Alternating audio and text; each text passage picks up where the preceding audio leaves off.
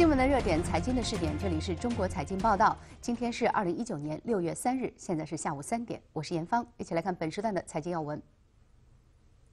六月二日，国务院新闻办发布了关于中美经贸磋商的中方立场白皮书，系统梳理了中美经贸摩擦的来龙去脉，尤其是驳斥了美方的谬论，亮明了中国态度。那么，中国还有哪些措施可以应对美国不断加码的压力？来听听中国国际经济交流中心首席研究员张燕生的观点。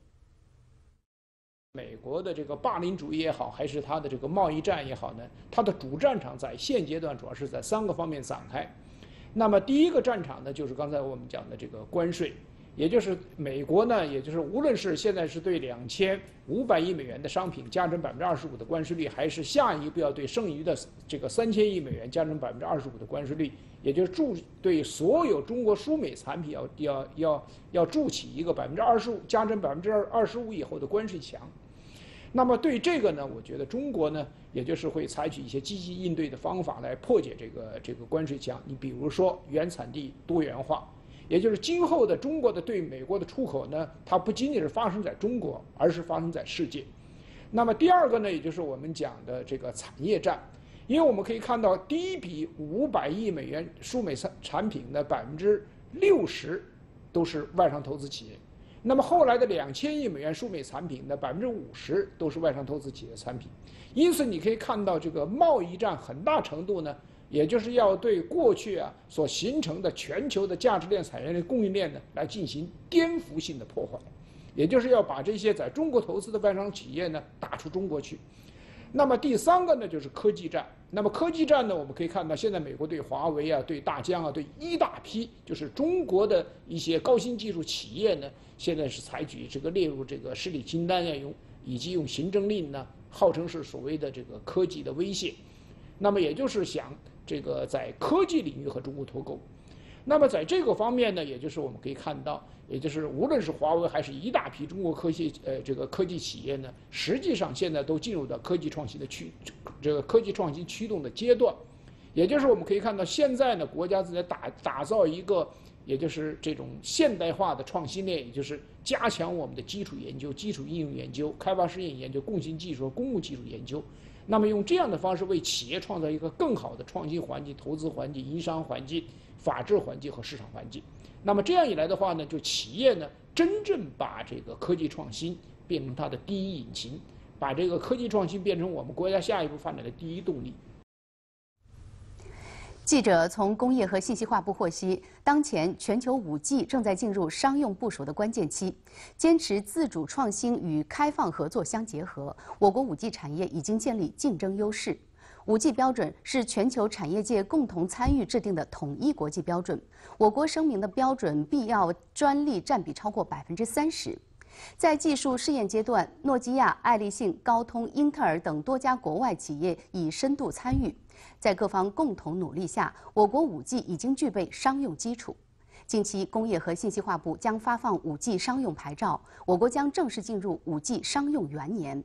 我们一如既往地欢迎国内外企业积极参与我国 5G 网络建设和应用推广，共同分享我国 5G 发展成果。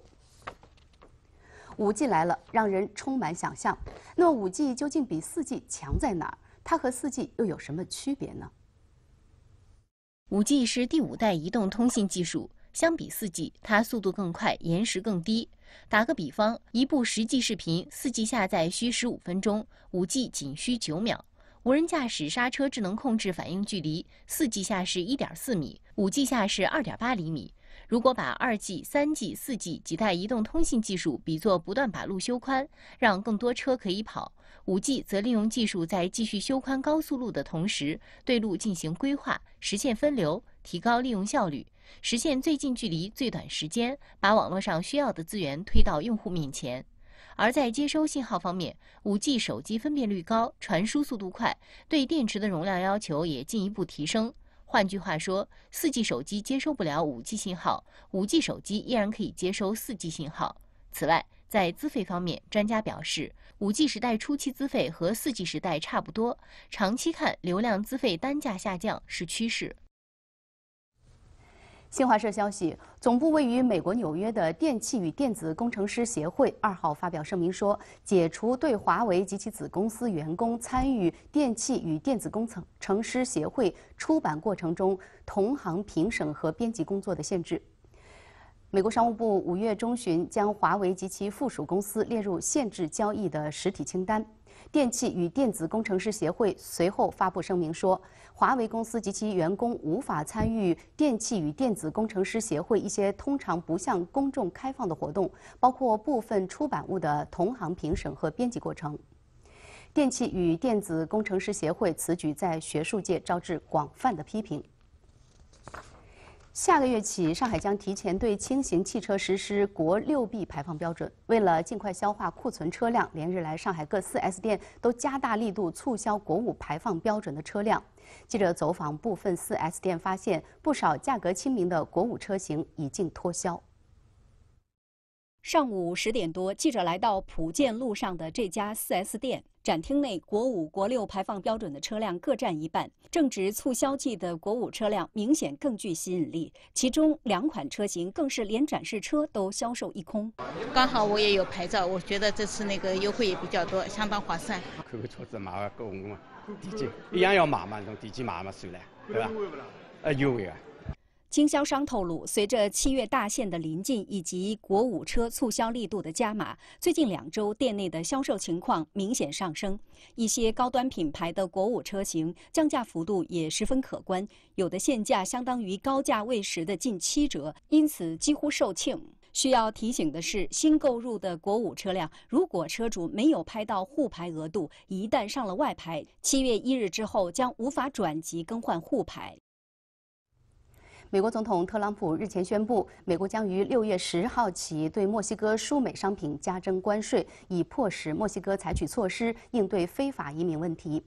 对此呢，白宫办公厅代理主任马尔瓦尼二号在美国电视媒体上说，特朗普在对待美墨边境非法移民问题上非常认真。马尔瓦尼还表示，希望对墨加征关税不会影响等待国会审批的美墨加协定。马尔瓦尼在福克斯电视台当天播出的新闻节目中说，对墨所有输美商品加征百分之五的关税与美国、墨西哥、加拿大协定无关。美墨加协定由美国、墨西哥、加拿大三国领导人在去年十一月三十号签署，用于替代北美自由贸易协定。美墨加协定已提交美国国会，国会批准后方可生效。据路透社报道，特朗普的行政团队已将推动美墨加协定通过国会审批列为工作的优先事项。但特朗普五月三十号宣布将对墨输美商品加征关税，这给美墨加协定的通关道路增添变数。高盛指出，关税的生效将使得美国、墨西哥、加拿大协定在二零二零年大选前通过的概率大幅降低。而被关税激怒的墨西哥方面也将放缓其法案批准的进程，法案在今年通过的概率基本为零。自美国政府宣布将针对墨西哥所有出口到美国的产品征收额外关税的消息一出，墨西哥比索对美元的汇率应声大幅下跌，包括墨西哥汽车零部件制造业、电视机和手机制造、农产品等出口美国商品都将受到影响。对此，墨西哥民众也表达了自己的看法。有墨西哥民众认为，美国此次的加征关税的做法是一种施压的手段，为了达到逼迫墨西哥配合美国阻止来自中美洲的移民非法进入美国的目的。但很多民众认为，这样的做法不会达到效果，或者说收效微乎其微。No creo que funcione porque finalmente sí se logran pasar algunos. Este, hay muchos migrantes del otro lado y yo creo que eso no va a funcionar. Lo que yo veo terrible pues es que se queden aquí en México donde no hay tantas oportunidades y ellos que vienen sin oportunidad pues todavía se van a quedar acá. 也有墨西哥民众表示，加税的做法会导致美国本土的消费者来买单，同时墨西哥的出口商、制造商也要付出更多的成本，对双方都没有益处。Son unas medidas de proteccionismo muy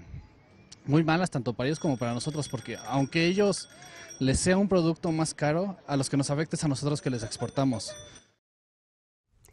当地时间六月二号，美国谷歌公司网络服务出现大面积的异常，大量用户反映谷歌邮件、谷歌云以及 YouTube 月后积粉等应用软件系统速度缓慢，甚至无法登录。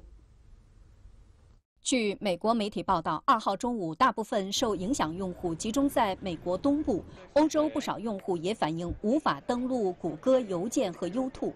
谷歌公司随后在二号下午发表声明称，经过工程团队努力，所有因网络拥堵受影响用户的问题已经解决。谷歌公司在声明中承认，网络故障导致美国东部地区网络拥堵，涉及谷歌云、谷歌智能应用套件和 YouTube 等多项服务，对大量用户造成影响。谷歌公司还表示，将对故障原因展开调查，提供相关调查报告，并对系统做出适当改进，以防止会最大限度减少未来再次发生此类情况的风险。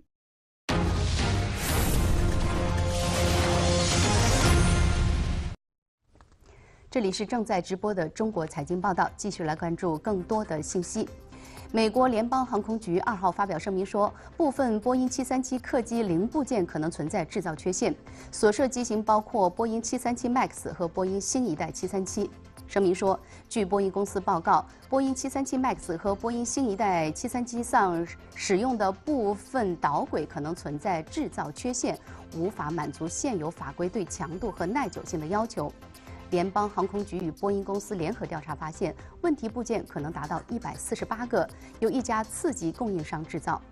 全球可能有一百七十九架737 MAX 和一百三十三架新一代737受到影响，其中包括在美国投用的三十三架737 MAX 和三十二架新一代737。法国能源巨头道达尔公司一号。